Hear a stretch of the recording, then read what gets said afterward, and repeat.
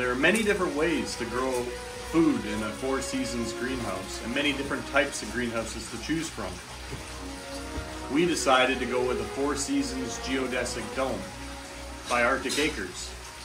It assembles quick, known for being used in our Arctic tundra. Being able to withstand heavy snow loads and shed snow easily, these are a great choice for homesteaders and families alike looking to grow food year round. To start, we built ours on a gravel ring.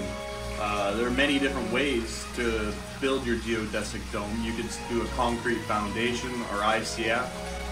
We decided to go with the gravel ring instead. Due to cost, upon receiving the kit, you'll have everything you need to build a Four Seasons geodome, except for the metal for the pond and the undersoil ventilation kit. Everything else is provided, and the instructions you do have to go over thoroughly and make sure you read and double read. And don't forget to put on the seam tape that goes on the outside of every triangle. We forgot this step as it was not in the instructions and it was in an email provided to us in previous. Once you have your foundation or gravel ring level is when you start assembling your geodesic dome. Starting with the outer wall, exterior walls, getting them square and plumb and level, then moving on to siding them and starting on the triangles. Once you get the first ring complete, then you can move on to the second ring and so forth until you get to the top. Then we started installing our glazing, which we found out we did backwards. We should have started at the top and worked our way down. But, like I said, go over your directions thoroughly and make sure you do as much research as you can to find out what works for you. Once we got the dome up and assembled, we moved in as fast as we could to start growing for this year's grow season. Normally we grow things in our garage and with the LED lights hung above to get things started for the season, but this was a big change and an exciting one. After it was all sealed in and the events were installed and the solar was hooked up, we were primed to get things going and building our beds to fill with dirt so we could start growing our fresh vegetables and fruits. With these domes, your permaculture is increased by, by doing a four seasons geodome, being able to grow food year round for your family and friends. What is permaculture? Well, it's creating and maintaining an ecosystem that thrives year round while using holistic and natural methods and working with nature, not against it. The Hydrolite store and uh, we ordered some Chrysopia. Ordered some Chrysopia, which is I think green lacewings. So we'll use those to combat our aphid problem. Once the beds were built, we had to focus on getting everything ready for winter as winter comes fast here in Alberta. Six months is really all we get growing and the outside air temperature drops below freezing.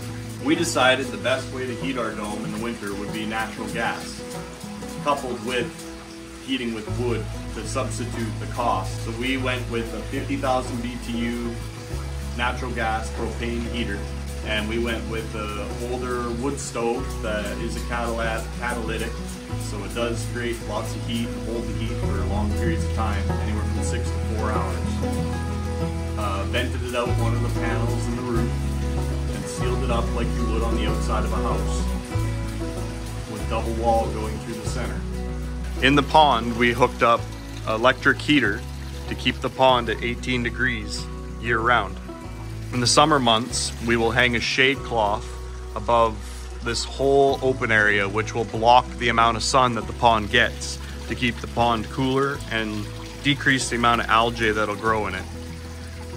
We also just started hooking up our aquaponics. So we have strawberries growing. We can also put peppers and other things that like to be soaked in nutrients and water that the roots won't rot. And then once we figured out that we can grow food in here year round, we decided let's try things like citrus. And uh, we are going to be heating it with natural gas, so we may as well try banana tree and see if we can make this a subtropical geodesic dome. Uh, we have struggled with aphids and mealybugs and spider mites because it's cold outside and warm in here. The humidity raises to 60 to 60%. Uh, with the wood stove, it goes down to 40 to 50%, so that's good. Um, but the biggest thing we're having trouble with is keeping things like our spinach, broccoli, uh, all those all those really delicate like peas delicate uh, fruits and vegetables seem to get attacked really bad.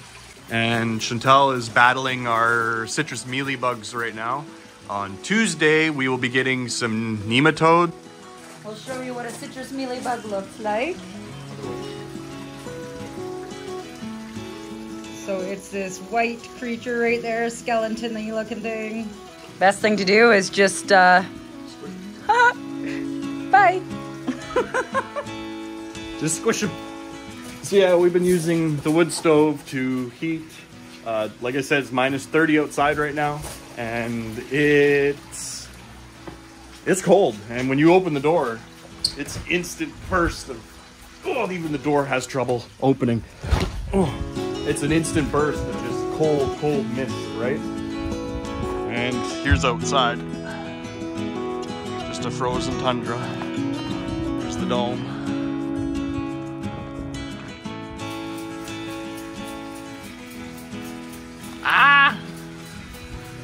Spraying me. That wasn't nice. Gotta have fun still. Oh yeah.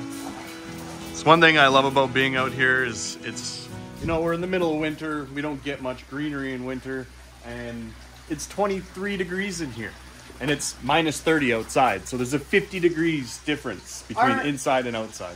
Our number one biggest mistake was not going with a larger dome to put like a resting hammock area in, because I mean that would have been just fantastic. And another thing I would have done differently, building a geodesic dome, I would have went with a concrete in-floor heat, heated by a wood boiler system. That that will be our goal for our next geodesic dome if we build another one. Uh, it might be in the future. We'll see. We ever move and build another homestead. We did look into that, and us being that we're in a subdivision on county residential zoning, they wouldn't allow us to do a wood boiler system because our property, uh, there was too much buildings or trees within a certain distance, and everything had to be spread out. Yeah, so wood boiler wasn't. Uh, we weren't able to do that here, um, so that's too bad. But uh, what we did with the wood stove and the heat with natural gas, I mean, it works.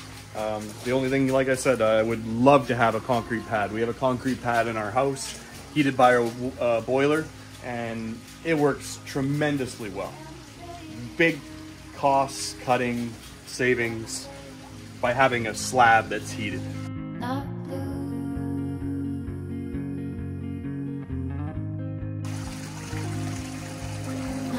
No leaf left unturned. I'm going over every last little leaf on that tangerine tree.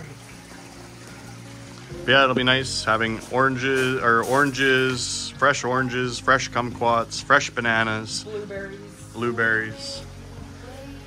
Pretty much have it all. Corn, you name it. Plus our crops we grow outside in the summer. Oh yeah, of course everybody has an outside garden, but to be able to grow this year round.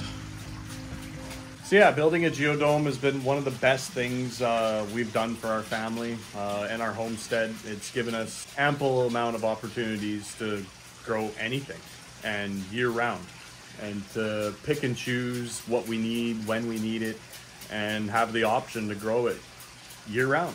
If you guys like this video, don't forget to hit that, smash that like button, subscribe, follow us along on our uh, adventures, uh, homesteading, living off the land, and seeing what uh, we can produce and strive to be a happy, healthy family and bring in the new year with uh, great wellness and uh, prosperity. And from our family to yours, have a good one.